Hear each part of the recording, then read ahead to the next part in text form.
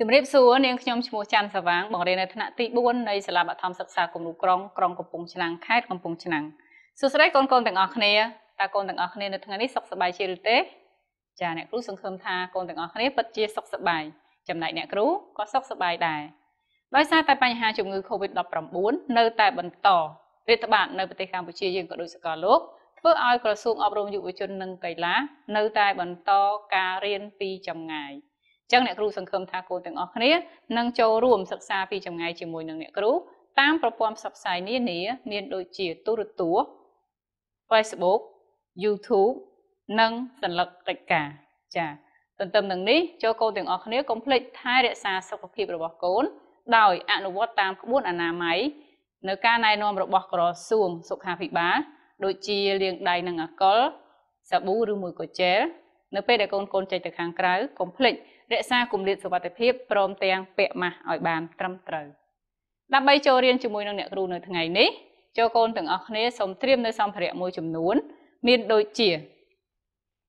សៀវភៅសិក្សាគោលគណិតវិទ្យាថ្នាក់ទី4ម៉ាស៊ីនគិតលេខសៀវភៅសរសេរក្តារឈ្នួន Word ប៊ិចខ្មៅដៃនិងបន្ទាត់ជាដើម ចាអញ្ចឹងកូនកូនទាំងអស់គ្នាបានត្រៀមរៀបចំសម្ភារៈរួចរាល់អស់ហើយតើកូនចាំទេថាកាលពីថ្ងៃមុន យើងបានរៀនមេរៀនអ្វីជាមួយគ្នា ចាកាលពីថ្ងៃមុនគឺកូនកូនទាំងអស់គ្នាបានសិក្សាពីចម្ងាយជាមួយអ្នកគ្រូនៅមេរៀនការបង្កើតចំណោទចាដើម្បីបង្កើតចំណោទតើកូនត្រូវគិតទៅលើចំណុចសំខាន់សំខាន់អ្វីខ្លះចាដើម្បីបង្កើតចំណោទមួយ យើងត្រូវគិតទៅលើទី1 គឺយើងត្រូវពិនិត្យទៅមើលល្បះលេខថាតើល្បះលេខនេះជាចំនួនអ្វីហើយមានប្រមាណវិធីអ្វីបន្ទាប់មកទៀតទី2គឺកូនត្រូវជ្រើសរើសយកតួអង្គហើយនឹងកំណត់សកម្មភាពដើម្បីយកមកបង្កើតចំណោទនិងចុងក្រោយគេទី3នោះគឺយើងត្រូវតែចោតជាចំណោទបញ្ហា ធ្វើម៉េចឲ្យឆ្លើយតបជាមួយនឹងរបស់លេខដែលយើងបានទទួលចាអឺសម្រាប់មេរៀនថ្ងៃមុនដែរគឺ អ្នកគ្រូមានជាកិច្ចការផ្ទះនៅទំព័រទី63ណាកូនណាចាអញ្ចឹងសូមលើកសភៅឡើង ហើយបើកទៅទំព័រទី63ទាំងអស់គ្នាចាមានការបង្កើតចំណោទនេះមាន2កនិងខនៅពេលនេះអ្នកគ្រូនឹងលើកយកចំណុចកមកបង្កើតជាចំណោទបង្ហាញកូនទាំងអស់គ្នា ចាអញ្ចឹងសូមកូនទាំងអស់គ្នាលើកសៀវភៅកិច្ចការផ្ទះរបស់កូនឡើង ដើម្បីត្រួតពិនិត្យមើលថាតើកូនធ្វើបានប៉ុន្មានអស់ហើយឬនៅហើយកិច្ចការដែលកូនបានធ្វើនោះត្រឹមត្រូវបានកម្រិតណាចាអញ្ចឹងនេះគឺជាចំណោទមួយដែលអ្នកគ្រូបានបង្កើតមកតាក់ទងជាមួយនឹងចំណុចក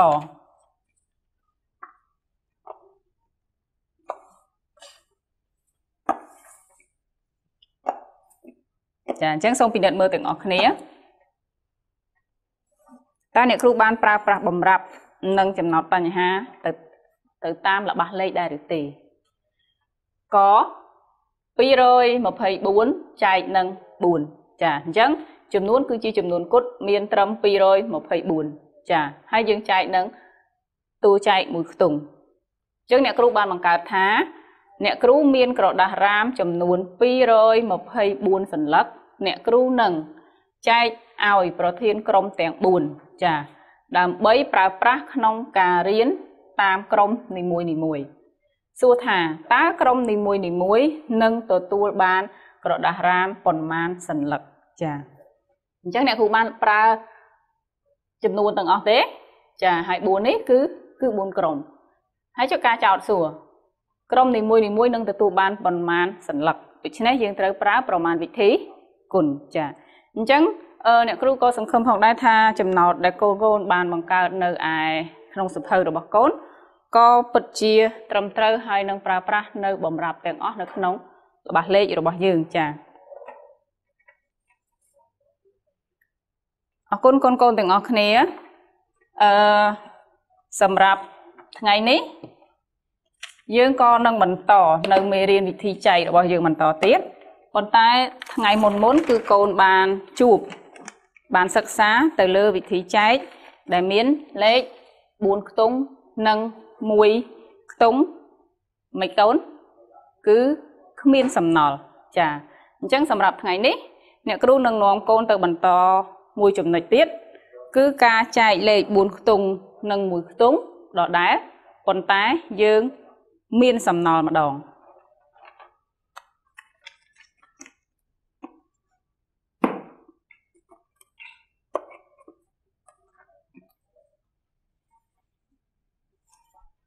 ចា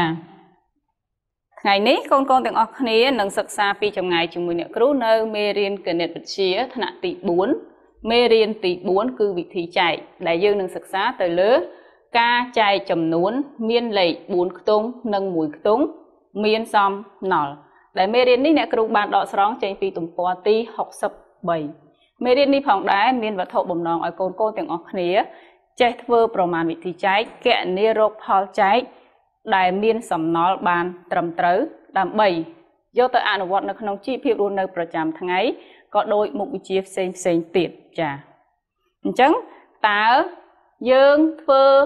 ការចែកចំនួនដែលមានលេខ4ខ្ទង់និង1ខ្ទង់មានសំណល់យ៉ាងដូចម្ដេចអញ្ចឹងសូមកូនកូនទាំងអស់គ្នា ចូលរួមសិក្សាជាមួយអ្នកគ្រូជាបន្តទៅទៀតចា៎អញ្ចឹងអ្នកគ្រូនឹងមានជាចំណោទមួយ ចា៎មកបង្ហាញកូនកូន ហើយយើងនឹងដោះស្រាយនិងចូលរួមគិតទាំងអស់គ្នាថាតើចំណោទនោះ យើងត្រូវប្រើប្រមាណវិធីអ្វីហើយយើងត្រូវគណនាយ៉ាងដូចម្ដេច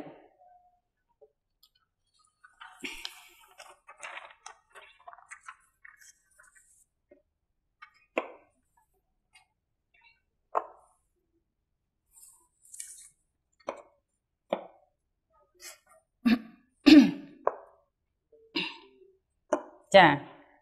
តោះអញ្ចឹងយើងសិក្សាទៅលើប្រធានចំណោទទាំងអស់គ្នាចំណោទអ្នកគ្រូប្រើពូវិតចាពូវិតមានកូនឈើចំនួន7359ដើមគាត់ត្រូវដឹកកូនឈើទាំងនោះទៅដាំដោយប្រើឡានចំនួន4សំណួរក តើឡាននីមួយនីមួយ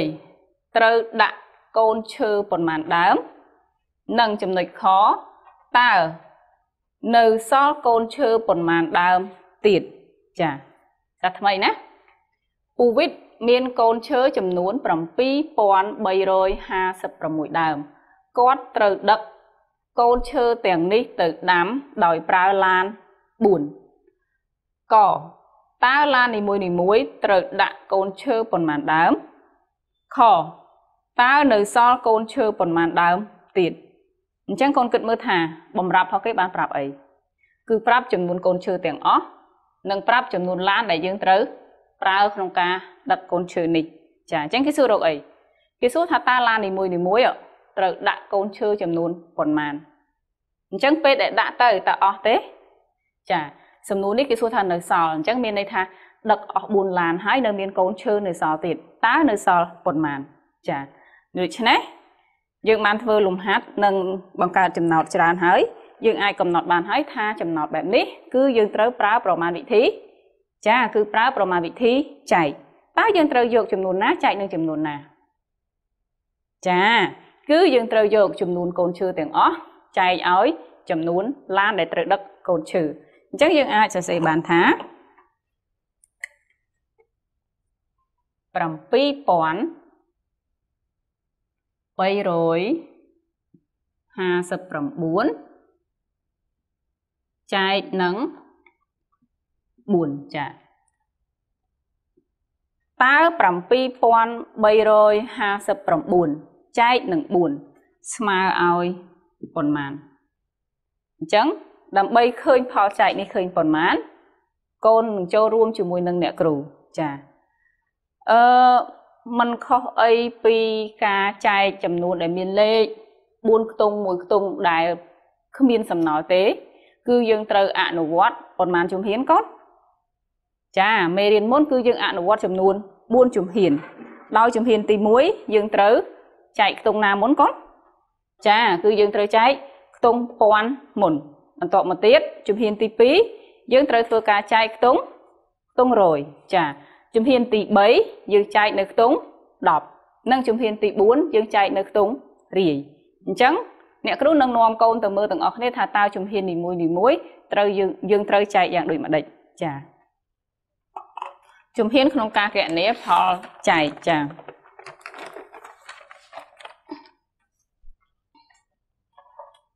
ចឹងយើងអនុវត្តការគណនាផលចែក7356ចែកឲ្យ4គឺមាន4ជំហានដូចមេរៀនមុនដែរដោយជំហានទី1យើងចាប់ផ្ដើមនៅក្នុងខ្ទង់ពាន់ខ្ទង់ពាន់របស់យើងគឺលេខ7យើងយក7ខ្ទង់ពាន់ចែកឲ្យ4អញ្ចឹង7ខ្ទង់ពាន់ចែកនឹង4តើបានប៉ុន្មានកូនចាអញ្ចឹងយើងអាចនឹងសូត្រមេលេខបន្តិចគឺបើយើងដាក់7ម្ដងអឺ 4ម្ដង4 4 2ដង8អញ្ចឹងឃើញលឺដូច្នេះយើងចែកបានតែ1ទេ មានន័យថាយើងចែកបាន1ខ្ទង់ពាន់អញ្ចឹងមានសំណល់អត់កូនចា7ដក4នៅសល់3អឺអញ្ចឹងយើងនៅសល់3តើ3នឹងខ្ទង់អីកូនចាគឺ3ខ្ទង់ខ្ទង់ពាន់ មួយខ្ទង់ពាន់តើមានតម្លៃស្មើនឹងប៉ុន្មានមួយខ្ទង់ពាន់គឺមានតម្លៃស្មើនឹង1000ចុះសំណល់3ខ្ទង់ពាន់មានតម្លៃស្មើនឹងប៉ុន្មានគឺស្មើឲ្យ3 3000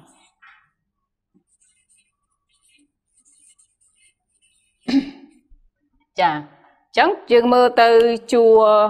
ឈរអ្នកគ្រូនឹងបង្ហាញជា ប្រមាណវិធីជួរឈរ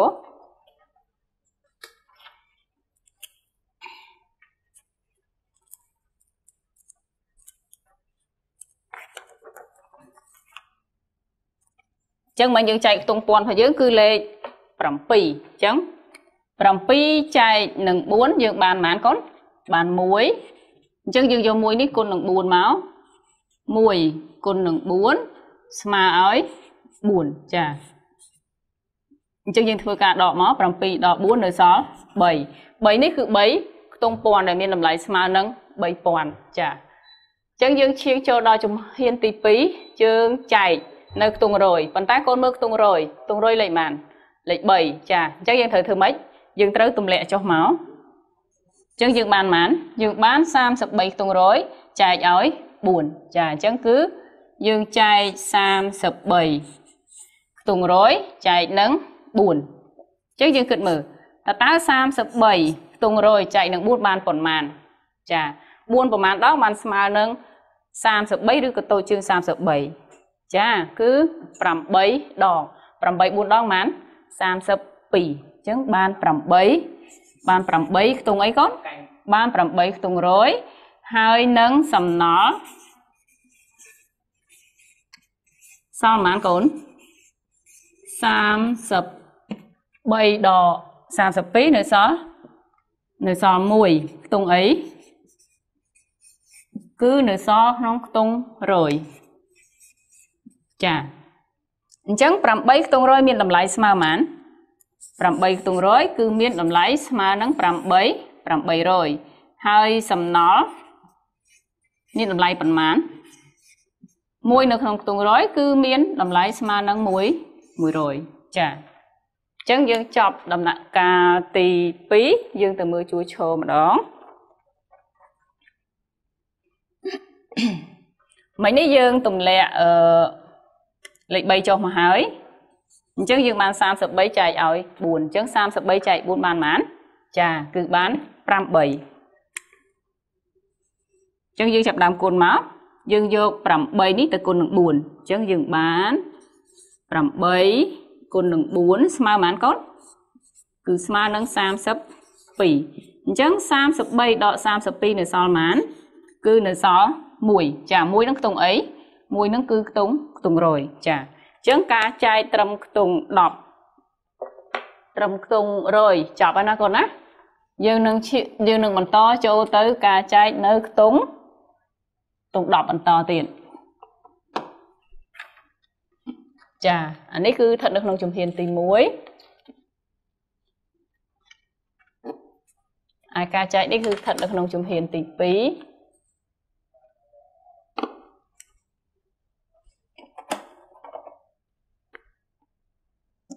ចាតោះឥឡូវនេះយើងនឹងបន្តទៅជំហានទី3គឺយើងចែកដល់ខ្ទង់10ខ្ទង់10យើងលេខប៉ុន្មាន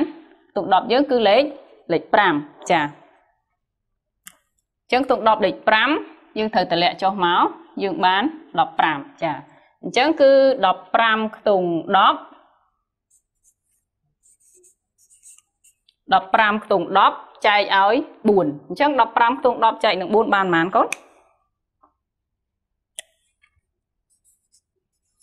អឺបើយើងសូត្រមេ4 4 4ដង16ចាបើ16លើសហើយអញ្ចឹងយើងដាក់បានបាន3 4 3ដង12ចាអញ្ចឹងយើងចែកបាន3ចា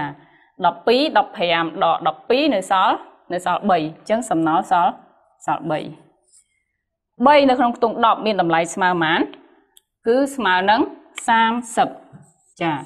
ចំណែកឯសំណល់3នៅក្នុងខ្ទង់10មានតម្លៃស្មើប៉ុន្មាន ចាស្មើនឹង30ដែរចាតោះអញ្ចឹងយើងទៅមើលនៅជួឈរ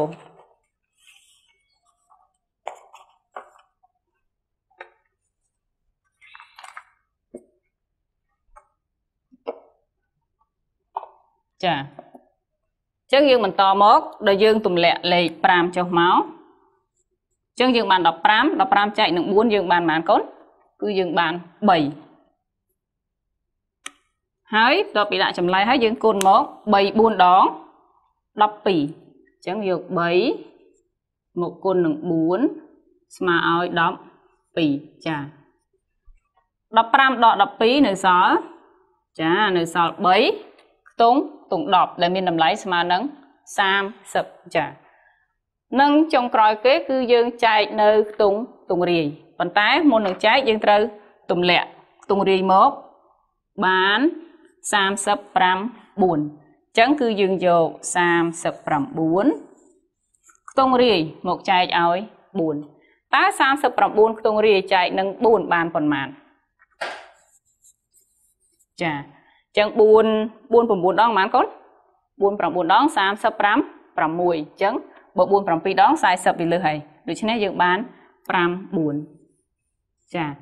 បាន9ខ្ទង់រាយអញ្ចឹង4 9ដង36 39ដក36សល់ប៉ុន្មានកូននិង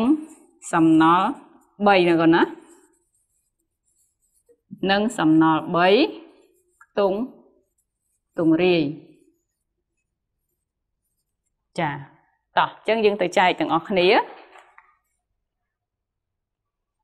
ជំហានទី4នេះអ្នកគ្រូដាក់នៅខាងលើនេះតែម្ដងទៅ ចាមិញយើងតម្លាក់លេខ9មកហើយតម្លាក់លេខ9មកយើងចាប់ដើមចែកត39មិញចែកបានបាន9អញ្ចឹង9 4ដង9 4ដងស្មើនឹង35 1 39ដក36នៅសល់3ចា ចឹងយើងឃើញហើយដូច្នេះអឺ7339ចែកនឹង4ស្មើប៉ុន្មានកូននេះស្មើ1839ហើយមានសំណល់សំណល់ប៉ុន្មានគឺសំណល់3អ្នកគ្រូដាក់បាំងបាត់សំណល់3ណាកូនណាអញ្ចឹងយើងអាចឆ្លើយថាបានថាដូចនេះដូចនេះអីកូន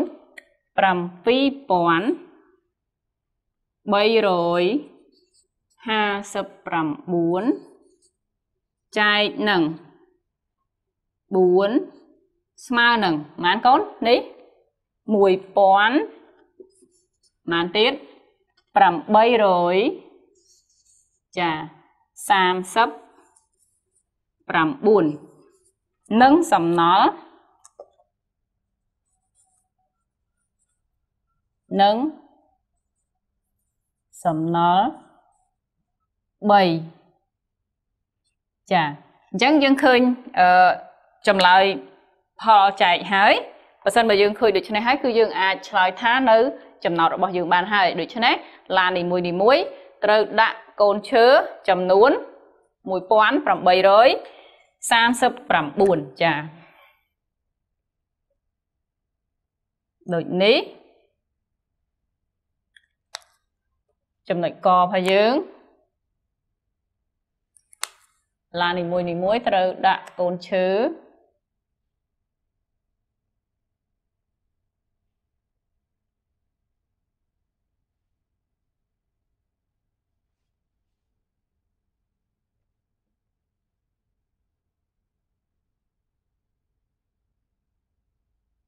ចំនួនប៉ុន្មានកូន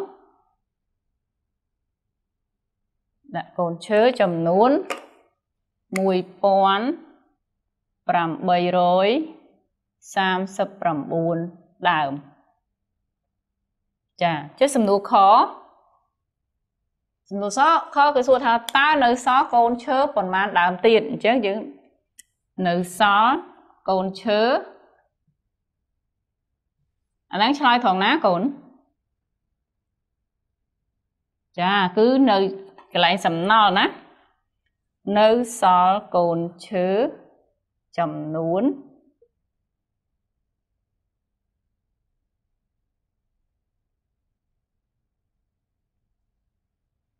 ចំនួន3ដើម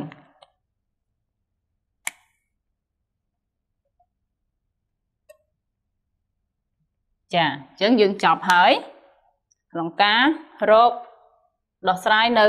សំណួរទាំងពីរចាអញ្ចឹងឡាននីមួយនីមួយត្រូវដឹកកូនឈើឲ្យបាន1839ចាហើយកូនឈើដែលនៅសល់គឺសល់3ដើមយ៉ាងម៉េចដែរកូនទាំងអស់គ្នា ដើម្បី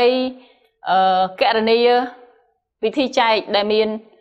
ចំនួនដែលមានលេខ4ខ្ទង់និង1ខ្ទង់ដែលមានសំណល់តើកូនត្រូវដោះស្រាយប៉ុន្មានជំហានចាគឺយើងត្រូវកណនីចំនួន4ជំហាន ដោយជំហានទី1យើងចែកនៅខ្ទង់ពាន់ជំហានទី2យើងចែកនៅខ្ទង់100ជំហានទី3យើងចែកនៅខ្ទង់10និងជំហានទី4យើងចែកនៅខ្ទង់ខ្ទង់រាយចាអញ្ចឹងដើម្បីឲ្យកូនកូនទាំងអស់គ្នាកាន់តែយល់ច្បាស់នៅវិធាននិងជំហានក្នុងការកណនីផលចែកនេះអ្នកគ្រូមានជាលំហាត់ឲ្យកូនវឹកហាត់ដូច្នេះសូមលើកសិភៅឡើងដើម្បីធ្វើលំហាត់ចាអញ្ចឹងយើងមកធ្វើលំហាត់ចំនួន2ណាកូនណា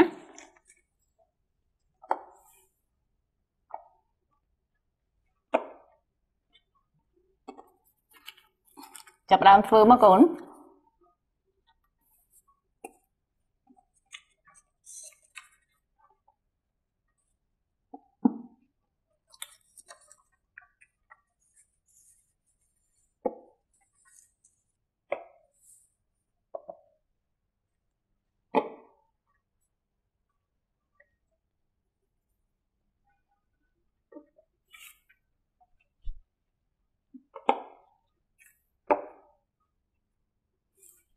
ចាប់មួយឬនៅ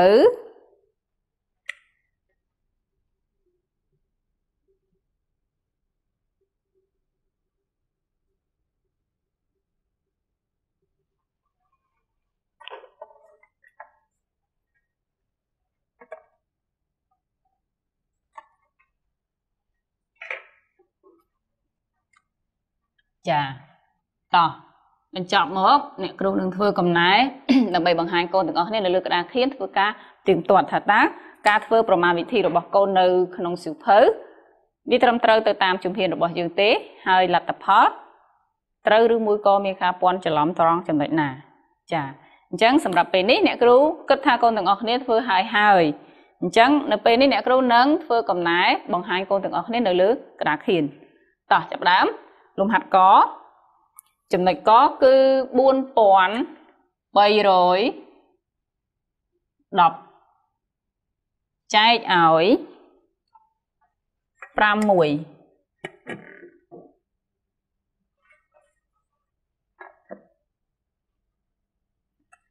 ចាអញ្ចឹងយើងត្រូវកាត់យកប៉ុន្មានខ្ទង់កូនចាយើងត្រូវកាត់យកប៉ុន្មានខ្ទង់ បើយើងកាត់យកមួយខ្ទង់គឺ4តើ4ចែកនឹង6បានឬទេចា4តូចជាង6អញ្ចឹងចែកជាមួយនឹង6អត់បានទេដូច្នេះយើងត្រូវកាត់យក2ខ្ទង់អញ្ចឹងបើកាត់យក2ខ្ទង់គឺយើងបាន33នៅខ្ទង់100ចែកឲ្យ5 1អញ្ចឹង43នៅក្នុងខ្ទង់100ចែកនឹង6បាននឹងប៉ុន្មានចាកូនអាចសូត្រមេលេខទៅថា6ប្រមាណដងបានស្មើនឹង43ឬក៏តូចជាង43 6 5ដង30 6 6ដង36 6 7ដង42ចាអញ្ចឹងបាន6 7ដងបើយើងយក6 8ដងវាឡើង48វាធំជាង43នេះអញ្ចឹងយើងអត់បានទេត្រូវយកតូចជាងអញ្ចឹងបន្ទាប់ពីដាក់បានហើយគឺកូនគុណកូនយក7នេះមកគុណនឹង6 7 6ដង42ចាហើយយើងធ្វើការដកមកអញ្ចឹង43ដក42នៅសល់1តមកទៀតធ្វើម៉េចយើងទម្លាក់ខ្ទង់ខ្ទង់10អញ្ចឹងបើទម្លាក់ខ្ទង់10វាបាន11 11ចែកនឹង6បានប៉ុន្មាន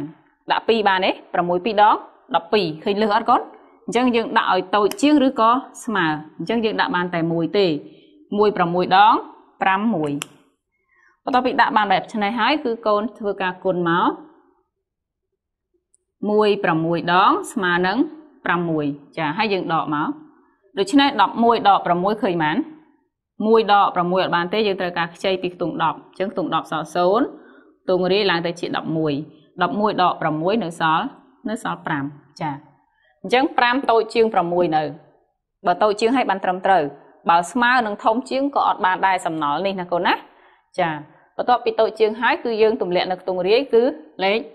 0 មានន័យថា50នៅខ្ទង់រាយចែកឲ្យ6អញ្ចឹង50នៅខ្ទង់រាយចែកនឹង6បានប៉ុន្មានចាយើងសូត្រមេលេខមក6 5ដង30 6 6ដង36 6 7ដង42 6 8ដង48 6 9ដង54អញ្ចឹងយើងដាក់បានតែ8ទេ8 6 8ដងគឺ45 8ហើយយើងគុណមក8 គុណនឹង6ស្មើប៉ុន្មានកូនស្មើនឹង45 3អញ្ចឹងនេះសល់4នេះឡើងទៅជា10 10ដក8នៅសល់2 4ដក4អស់ដូច្នេះយើងឃើញហើយថាចម្លើយរបស់យើងគឺឃើញ718សំណល់នៅសល់2 2នេះគឺជាខ្ទង់រាយ718 ចាសំណល់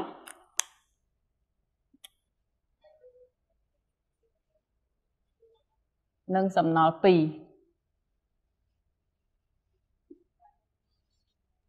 ចាតោះទៅចំណុចខ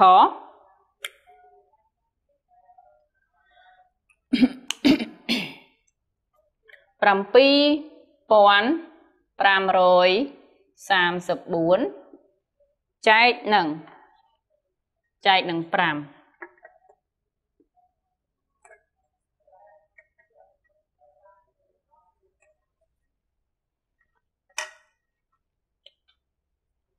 ចាបើចែកនឹង5យើងត្រូវកាត់យកប៉ុន្មានខ្ទង់កាត់យក2ខ្ទង់ដែរឬកាត់យកមួយខ្ទង់អញ្ចឹងកូនមើលមួយខ្ទង់លេខប៉ុន្មានគឺលេខ7អញ្ចឹង7ហើយនឹង5 7ធំជាង5ឬនៅ ចាធ្វើម៉េចឲ្យទូចែកទូចែកស្មើឬក៏ធំជាង តំណាងចែកនឹងទូចែកឲ្យស្មើគ្នាណាបើយើងកាត់តំណាងចែកមួយខ្ទង់យើងបាន7អញ្ចឹងវាធំជាង5ហើយអញ្ចឹងយើងអាចចែកបាន7ចែកនឹង5បានបាន1អញ្ចឹង1នេះខ្ទង់អីគឺមួយនៅក្នុងខ្ទង់ខ្ទង់ពាន់ចា1គុណឲ្យ5ស្មើប៉ុន្មានកូនគឺស្មើ5អញ្ចឹង7ដក5នៅសល់នៅសល់2 យើងទម្លាក់ខ្ទង់100យើងបាន25ខ្ទង់100ចែកឲ្យ5អញ្ចឹង25ចែកនឹង5បានបាន5 5 5ដង25ចាអញ្ចឹង25ដក25នៅសល់0យើងទម្លាក់ខ្ទង់10គឺលេខ3 3ចែកឲ្យ5បានអត់អញ្ចឹងពេលទម្លាក់មកឃើញ3តូចជាង5បើតូចជាងអញ្ចឹងចម្លើយគឺបាន0នៅក្នុងខ្ទង់ខ្ទង់10ចាអញ្ចឹងយើងយក0នេះមកគុណនឹង0នេះមកគុណនឹង5 0.5ដង គឺស្មើឲ្យ0អញ្ចឹង3ដក0នៅសល់នៅសល់3ដដែលយើងទម្លាក់ខ្ទង់រាយមក 4អញ្ចឹងយើងបាន34ខ្ទង់រាយចែកឲ្យ5 34ខ្ទង់រាយចែកនឹង5បានប៉ុន្មានចាបាន6 6 5ដង30បើកូនដាក់7វាឡើងដល់35អញ្ចឹងលើសហើយអញ្ចឹងយើងដាក់ត្រឹមតែ6ទេ គឺ6 5ដងស្មើឲ្យ30អញ្ចឹង34ដក30នៅសល់4 4នេះគឺ4ខ្ទង់ខ្ទង់រាយដូច្នេះចំណុចខយើងឃើញ1506ចានិងសំណល់